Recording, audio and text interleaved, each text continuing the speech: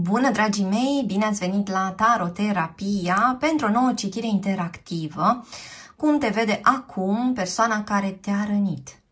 Așadar, vorbim despre relații care s-au destrămat, vorbim despre legături cu niște persoane cu care nu mai sunteți acum în contact, fie că e vorba despre relații sentimentale, fie că e vorba despre relații de prietenie sau de rudenie, vă invit să alegeți cel puțin una dintre aceste trei variante. Avem aici citirea numărul 1 cu acest tarot, tarotul Cavalerilor Templieri, citirea numărul 2 cu tarotul viceversa, citirea numărul 3 cu acest tarot Lenormand. Este o citire generală, deci vă rog să luați de aici doar ceea ce se potrivește cu fiecare dintre voi. Este o citire fără timp, adică e relevant în momentul în care ascultați acest mesaj, găsiți aceste uh, seturi pe care le vom folosi astăzi, aceste seturi de tarot sau oracolele pe site-ul www.taroterapia.ro unde vă invit să explorați și cursul de tarot intuitiv cu metoda taroterapia. Începem acum cu grupul 1. Sunt aici cu grupul 1, cu cei dintre voi care au ales acest set de tarot, tarotul Cavalerilor Templieri. Așadar, cum te vede acum persoana care te-a rănit?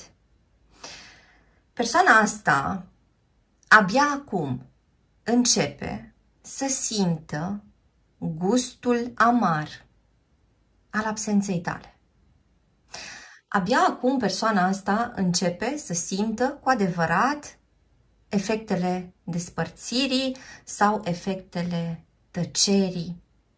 Persoana asta vede în tine acum, ascultătorule, niște lucruri pe care le-a cam intuit mereu, însă, în trecut, persoana asta s-a temut să îți recunoască măreția. În trecut s-a temut să-ți vadă cu adevărat calitățile sau să recunoască în fața ta că vede lucrurile bune. În trecut, persoana asta s-a ținut așa într-un soi de atitudine mică, supărăcioasă. Persoana asta în trecut uh, n-a reușit să pună prea mult nici în cuvânt, nici în fapt, pentru că e ca și cum tot timpul a trebuit să stea în umbra ta. Persoana asta, în momentul ăsta, vede la tine o creștere foarte mare, vede la tine schimbări foarte bune. Mai vede persoana asta că tu ai reușit să faci curat în viața ta te vede cu această mătură în mână și te vede înlăturând tot ceea ce este obstacol, tot ceea ce poate să îți facă rău. Așadar, se vede pe această listă, știe că este pe lista cea neagră. Această persoană mai vede că tu ești în căutarea păcii sau că începi să fii din ce în ce mai bine din punct de vedere emoțional și toate lucrurile astea pe care le observă la tine, ascultătorule, îi provoacă o stare de agitație. Persoana asta observă pregnant la tine, cel mai probabil de la distanță, uitându-se pe paginile tale online, întrebând în stânga, în dreapta.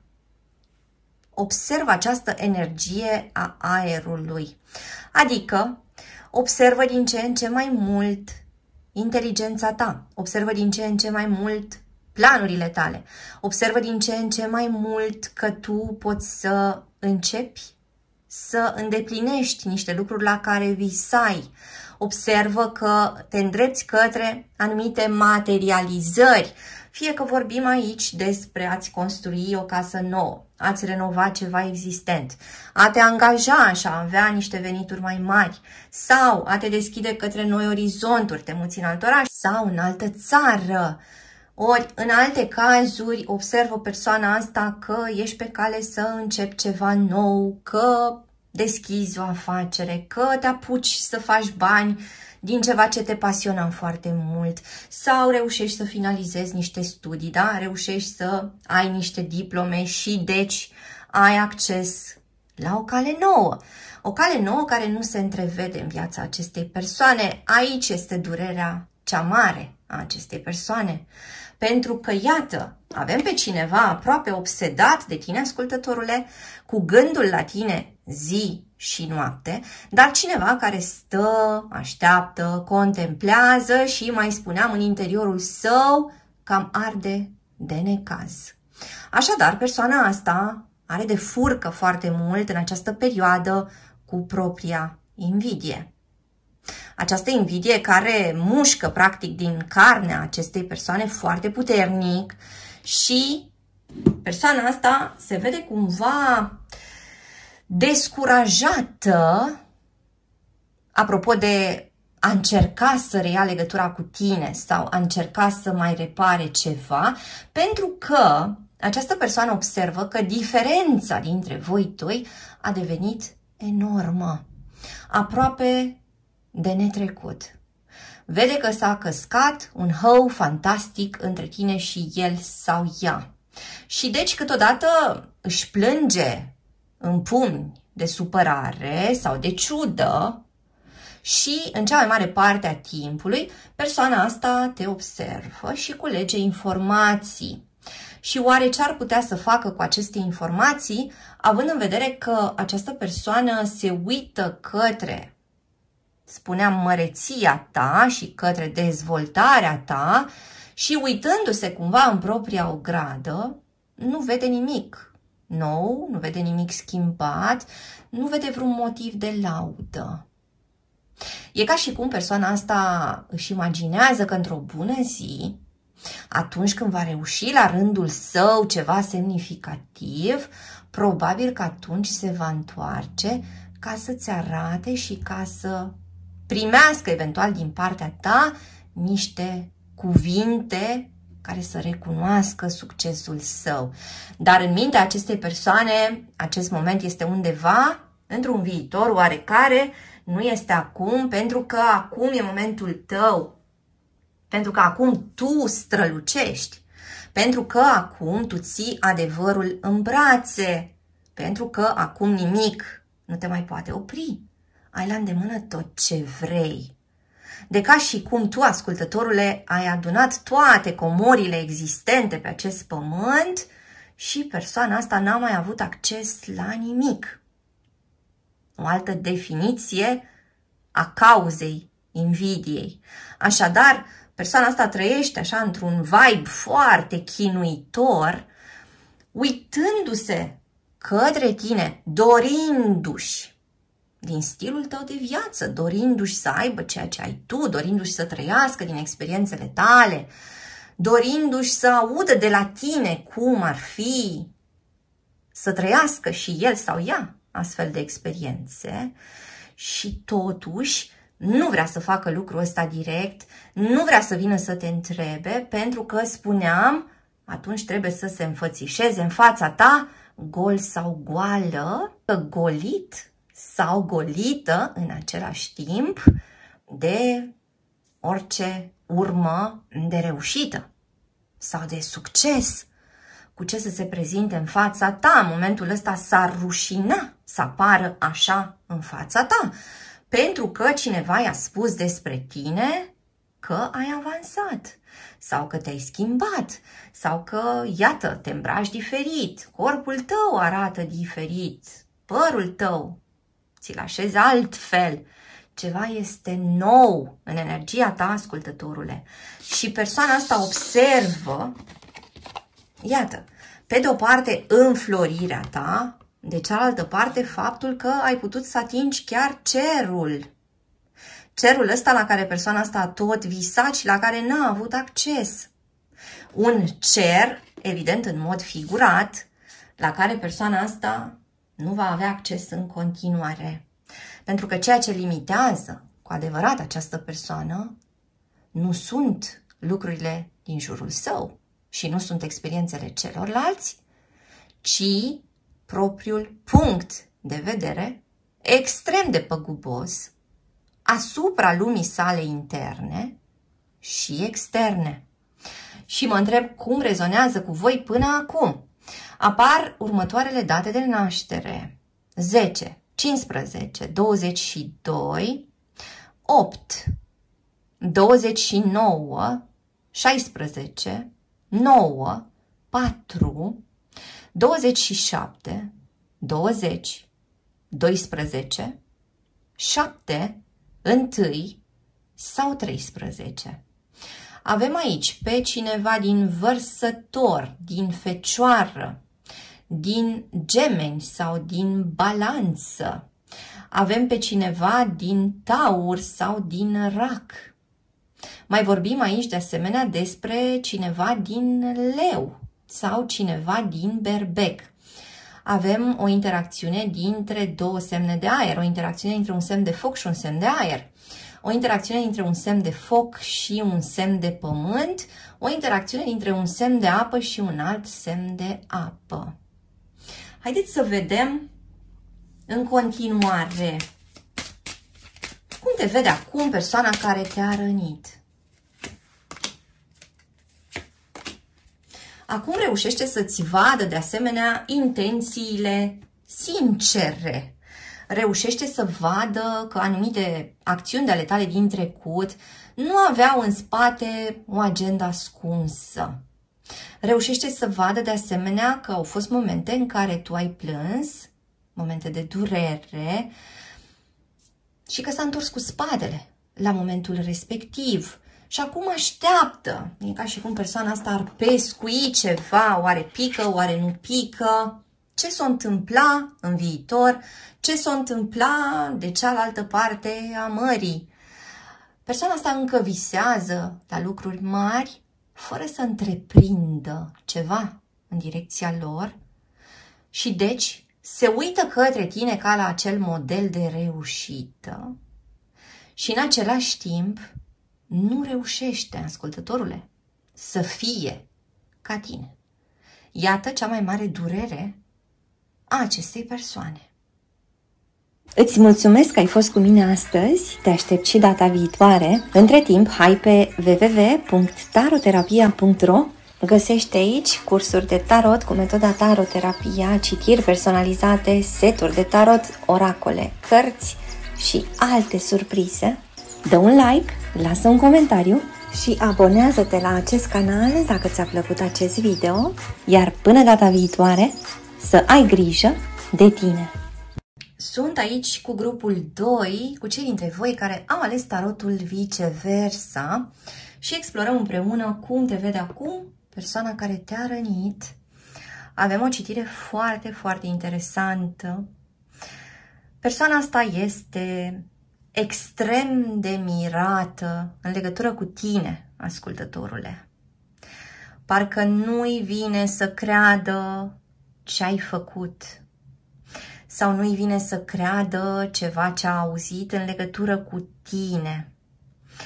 Persoana asta pare că se baza pe iubirea ta veșnică, pe prezența ta necondiționată, pe fidelitatea ta, pe stabilitatea ta.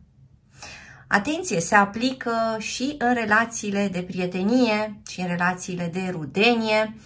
Așadar, această citire, aceste citiri de astăzi nu sunt doar pentru acele situații sentimentale. O persoană care a crezut că tu vei rămâne întotdeauna lângă el sau lângă ea. Indiferent care era rolul tău la momentul respectiv, persoana asta a mai considerat că îi se cuveneau toate darurile tale și că vei ierta eventual iar și iar din abaterile sale. Așadar, această persoană a crezut că tu nu te vei schimba, și dacă la un moment dat tu te-ai ridicat și ai exprimat ce aveai de spus și poate i-ai dat chiar un ultimatum, persoana asta a neglijat ce i-ai spus tu atunci, pentru că nu credea că vei reuși să aduci ceva nou, nu credea că vei reuși să te îndepărtezi. Când tu ai început să spui că nu mai merge așa, să-ți arăți limitele, să pui condițiile, s-o fi gândit că te jucai sau că glumeai sau că doreai să-ți exerciți puterea în acea relație. Persoana asta a cunoscut viața prin jocuri de putere. Pentru că da, acolo unde nu încape iubirea, se desfată jocurile de putere. Și de ce oare jocuri de putere? Pentru că, în fapt, persoana asta încerca să compenseze o fragilitate prea mare. În adâncul sufletului său, persoana asta cel mai probabil se detestă. Iar masca asta a puterii, pe care o încearcă atât de des, probabil că ascunde niște probleme foarte mari ale acestei persoane. Probabil că încearcă să țină la distanță orice variantă de a fi controlat sau controlată, manipulat sau manipulată. Avem o organizare deficitară în interiorul acestei persoane. Persoana asta se uită către lucruri destul de strâmb și, în fapt, persoana asta poate să fie dărâmată de chestiuni foarte, foarte mici. Are de asemenea o teamă de abandon foarte mare, iar ceea ce observă acum la tine, ascultătorule, este că ai reușit să te îndepărtezi, că ai reușit să te transformi, că ai lăsat în spate ceea ce era confortabil și cunoscut pentru a întreprinde o călătorie. Și cât curaj ți-a trebuit ca să poți să faci lucrul ăsta. Așadar, admiră curajul tău. Încă nu-i vine să creadă că nu mai poate beneficia din partea ta de aceleași lucruri. Nu mai are avantajele pe care le avea odată. Soarele ăsta poate să devină foarte întunecat. Atmosfera din viața acestei persoane poate să devină extrem de neprietenoasă. Persoana asta este înconjurată de lucruri care nu-i aduc nicio satisfacție în momentul ăsta. Și e ca și cum, în comparație cu ceea ce a trăit cu tine, nimic acum nu mai are același gust. Persoana asta cred că se plictisește îngrozitor. Are o lipsă de chef, lipsă de perspective. Parcă nu mai este interesat sau interesată de lucrurile care odată prezentau așa o aură specială. Și tu colorai din plin, ascultătorule, viața acestei persoane. Tu umpleai un mare gol. Și pare că acum golul ăsta începe să-și facă simțită prezența. Tot mai mult în interiorul său. Și cu cât simte mai mult disperarea, pentru că simte frecvent disperarea, persoana asta se gândește la o posibilă întoarcere a ta, la o posibilă reuniune, la o posibilă împăcare, la o apropiere. Dar știe această persoană că se va lovi de spada ta? Știe această persoană că ceea ce a neglijat atunci când tu i-ai spus că nu se mai putea așa, acum a devenit dureros de concret. Așadar, persoana asta nu mai are acces la beneficiile de odată, își dorește acel acces, își dorește ca lucrurile să se schimbe și să se schimbe eventual foarte repede. Știe că ești cu spatele întors. Știe că nu mai este loc de cine știe ce explicații fandosite. Că nu mai este loc de minciuni. Că nu mai este loc de bucățele. Persoana asta observă că viața ta începe din ce în ce mai mult să fie coerentă, închegată, că ai alte scopuri, că ai altă atitudine, că ai alt comportament. Și deci, persoana asta încearcă să-și dea seama dacă ar mai fi loc pe undeva pe acolo și pentru el sau pentru ea. Și parcă încearcă să-și facă, iată, curaj, să înfrunte bestia. Parcă rolurile acum s-au inversat. Parcă tu, ascultătorule, stăteai și așteptai, încercai tot felul de variante, ai încercat să repari, ai încercat să dai și mai mult, ai încercat să faci imposibilul ca să faci relația asta să meargă. Și probabil că erai, iată, în rolul acestui personaj de aici, care încerca să îmblânzească leul.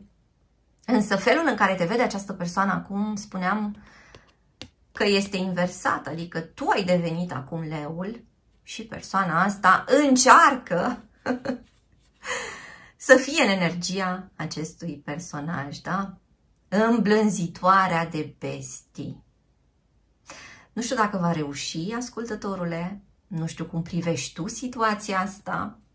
Sunt curioasă cum rezonează cu tine și chiar te rog să scrii în comentarii cum arată pentru tine această situație. Văd aici de două ori prezența leului. Avem de asemenea pe cineva din gemeni, din capricorn, pești sau fecioară, cineva din rac. Mai văd aici pe cineva care se gândește că ar putea să vină totuși cu ceva și să-ți propună un soi de parteneriat, da? Să creați ceva împreună, doar că nu prea sunteți pe poziții egale, probabil că tu acum da? arăți ca această felină și persoana asta care îndrăznește așa să acționeze mai degrabă noaptea pe ascuns pe furiș, da? și iată diferența dintre cele două personaje, și totuși se gândește și încearcă așa să aibă o abordare înțeleaptă, încearcă să vină cu niște lucruri diferite. Spuneam că nu știu în ce măsură lucrurile astea te vor impresiona, ascultătorule, pentru că tu știi ce ai de construit și pentru că zona construcției tale deja este în altă parte te-ai îndepărtat, te-ai înstrăinat de această persoană, ai luat contact cu realitatea și cu limitările acestei persoane și persoana asta cumva ar vrea să vină și să atace așa edificiul ăsta al tău, dar spuneam că nu văd pe cineva cu cine știe ce putere în momentul ăsta, ci văd pe cineva cu foarte multă fantezie, apropo de tine, avem aici o interacțiune între două semne de pământ, o interacțiune între două semne de apă, o interacțiune între un semn de pământ și un semn de apă. Avem de asemenea o interacțiune dintre un semn de foc și un semn de aer și următoarele date de uh, naștere 6, 16, 2, 12, 22, 8, 18, 28, 31, 21, cineva născut pe data de 9, pe data de 19, persoane care sunt născute seara sau noaptea. Mai vorbim de asemenea despre persoane care sunt născute luni, vineri sau sâmbătă. Vă rog să luați de aici doar ceea ce rezonează cu voi. Haideți să vedem în continuare cum te vede acum această persoană.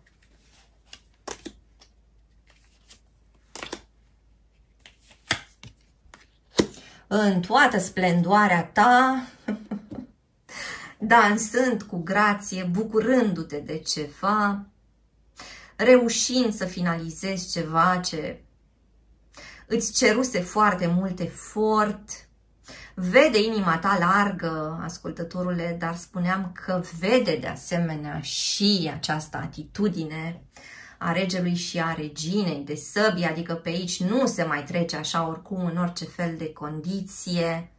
Și da, încă mai speră această persoană că într-un fel sau altul poate să te recucerească. Îți mulțumesc că ai fost cu mine astăzi, te aștept și data viitoare. Între timp, hai pe www.taroterapia.ro Găsește aici cursuri de tarot cu metoda taroterapia, citiri personalizate, seturi de tarot, oracole, cărți și alte surprize. Dă un like, lasă un comentariu și abonează-te la acest canal dacă ți-a plăcut acest video, iar până data viitoare, să ai grijă de tine! Sunt aici cu grupul 3, cu cei dintre voi care au ales tarotul Lenormand. Cum te vede acum persoana care te-a rănit? Și avem în energia acestei persoane ceva extrem de intens. Ceva arde în interiorul acestei persoane. Și mai avem de asemenea o persoană care te urmărește asidu, ascultătorule. Cineva care este pe urmele tale cu înfrigurare. Cineva care nu reușește să renunțe la niciun fel de noutate pe care ar putea să o afle în legătură cu tine. O persoană care, iată, se poate îmbolnăvi sau simte că se îmbolnăvește de supărare dacă nu află lucruri care au legătură cu tine. Această persoană s-ar putea să se fie apropiat de un anumit regret în legătură cu tine, în legătură cu ce ați avut, în legătură cu ce ați fi putut să aveți unul cu celălalt. Mai simt de asemenea că persoana asta are momente în care te idealizează, te ridică în slăvi, te pune pe piedestal și momente în care ar arunca cu tine în toate direcțiile pentru că are momente intense de furie, indicate de această arcana turnului. Persoana asta pendulează între stările astea. Pare că ceea ce hrănește această persoană acum este acest flux de informații, spuneam, pe care încearcă să îl obțină, încearcă să aibă control asupra situației, măcar așa, știind ceva despre tine. Relația asta a voastră pare să fi fost o relație plină de peripeții, o relație foarte încărcată, o relație plină, o relație intensă. Indiferent că ați avut o relație de cuplu sau ați fost colegi sau prieteni sau chiar rude. O relație cu foarte multe suișuri, coborâșuri, cu foarte multe lecții. Persoana asta parcă ar considera în anumite momente că ceea ce se întâmplă a venit într-un mod just. Dar apoi vin celelalte momente în care se luptă cu ceea ce se întâmplă și nu poate accepta situația asta. Și avem și un 10 de săbi și un 9 de săbi, adică cineva care este extrem de tulburat. Cineva care nu-și găsește liniștea, nici ziua, nici noaptea, indiferent de interacțiune în care intră, îi răsună în minte niște cuvinte de ale tale, ascultătorule, s-ar putea ca tu la rândul tău să mai auzi cumva în interior niște fraze foarte dureroase, niște replici acide, da? care au provocat în tine reacții puternice, replici ale acestei persoane, parcă v-ați tot alergat, ați avut momente de extaz și ați avut și momente în care ați vizitat iadul. Mă întreb cum rezonează cu voi. Persoana asta stă câteodată și bea un ceai, o cafea sau un pahar de vin, se uită în pământ, își aduce aminte de lucruri concrete cu tine. Își aduce aminte de o călătorie pe care ați făcut-o, de niște discuții pe care le aveați, de exemplu, undeva în parc sau pe afară, în aer liber, sau își aduce aminte despre niște discuții legate de casă, de bani, de îndatoriri, parcă rememorează tot felul de aspecte. Persoana asta este o persoană care suportă foarte, foarte greu tăcerea ta sau respingerea ta, ascultătorule.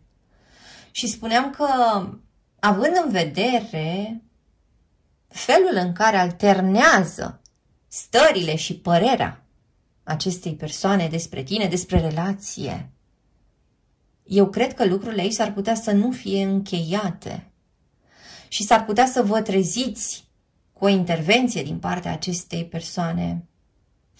Așadar, o intervenție pe neașteptate. Poate exact în momentul ăla în care voi sunteți foarte bine, împliniți, fericiți. Atunci când nu vă așteptați să se mai întâmple nimic, s-ar putea să vină ceva din partea acestei persoane. Pentru că, da, turnul ăsta poate să anunțe și ceva ce răstoarnă o ordine anume. Ceva ce vine să schimbe starea lucrurilor. Pentru că persoana asta consideră că i s-a năruit, iată, un întreg oraș Acum trebuie să vină și către tine și să te ia cumva în experiența sa. Adică ar vrea să te impresioneze, ar vrea să te tulbure într-un fel sau altul, dar este teamă că dacă va face un pas nepotrivit, atunci chiar că îi vei închide definitiv toate porțile. Da? Deocamdată încă are această poartă deschisă și în același timp știe persoana asta că trebuie să acționeze corect. Știe că nu mai poate să ascundă lucruri, că nu mai poate să facă anumite acțiuni doar în favoarea sa. Știe că trebuie să găsească o măsură justă pentru amândoi și mai avem aici pe cineva care are probleme cu greutatea sau s-a îngrășat în ultima perioadă. Iată, momente în care persoana asta se simte în ceață, în mijlocul mării, fără să găsească un centru, fără să se simtă niciunde acasă, sau persoana asta plănuiește o călătorie și odată cu această posibilă întoarcere s-ar putea să-ți vorbească despre o călătorie, să-ți propună o călătorie sau să-ți spună, uite, am fost în această călătorie și am înțeles niște lucruri despre mine, despre tine, despre noi doi, hai să ne așezăm, hai să încercăm, da, să povestim și sper să ajungem și la lucruri mai serioase și să mă fac înțeles sau înțeleasă. Cam asta este energia acestei persoane, adică parcă încearcă să recupereze niște aspecte, fie că e vorba, spuneam, de prietenia ta, ascultătorule, fie că e vorba despre o relație intimă cu tine, pentru că ceva s-a schimbat, ceva s-a încheiat și persoana asta se simte foarte chinuită de ceea ce se întâmplă acum în viața sa și foarte, foarte legată încă de tine, ascultătorule. Și s-ar putea de asemenea ca această persoană să-ți spună că tu îi amintești de un membru foarte drag al familiei, da? Dacă e, de exemplu, un prieten sau, eu știu, un fost coleg sau un fost iubit, s-ar putea să-ți spună că felul tău de a vorbi seamănă cu al mamei sau cu al bunicii sau că în preajma ta simte liniște, că simte împăcare, că tu reușești să liniștești această persoană, că ai calitățile acestei împărătese, da?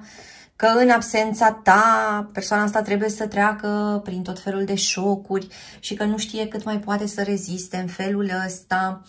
Este o persoană care spuneam că ar vrea să vină cu niște lucruri bune în relație, însă este încă măcinată de ceea ce consideră că ar fi o nedreptate din partea ta și mă întreb care ar putea să fie nedreptatea, ascultătorule.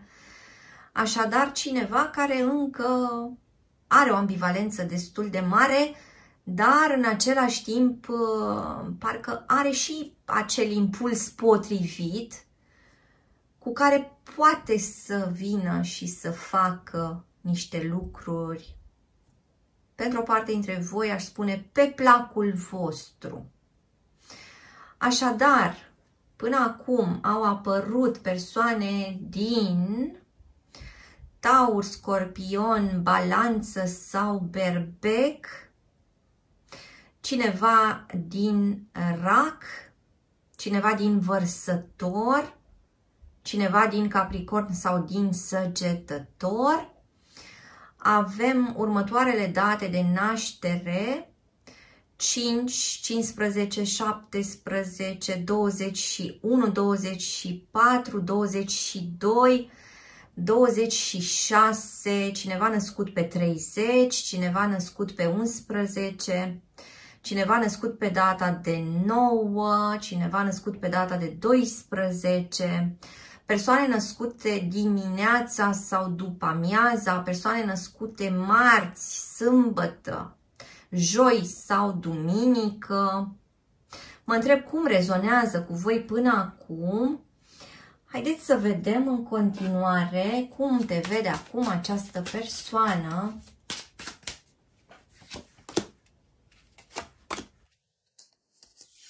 Această persoană vede că tu ai putea să respingi o anumită ofertă care vine de la el sau de la ea. Și atunci s-ar putea ca această persoană să mascheze oferta sa inițială, adică să-i dea o altă formă. Să nu-ți vorbească direct despre o împăcare, hai să reluăm, hai să devenim chiar mai apropiați decât înainte sau hai să punem relația noastră pe baze mai serioase, ci s-ar putea să folosească niște motive mai mici pentru a se asigura că poate să aibă acces la tine. După care să dezvolte restul poveștii și restul planului său. Îți mulțumesc că ai fost cu mine astăzi, te aștept și data viitoare. Între timp, hai pe www.taroterapia.ro Găsește aici cursuri de tarot cu metoda taroterapia, citiri personalizate, seturi de tarot, oracole, cărți, și alte surprize, dă un like, lasă un comentariu și abonează-te la acest canal dacă ți-a plăcut acest video, iar până data viitoare să ai grijă de tine!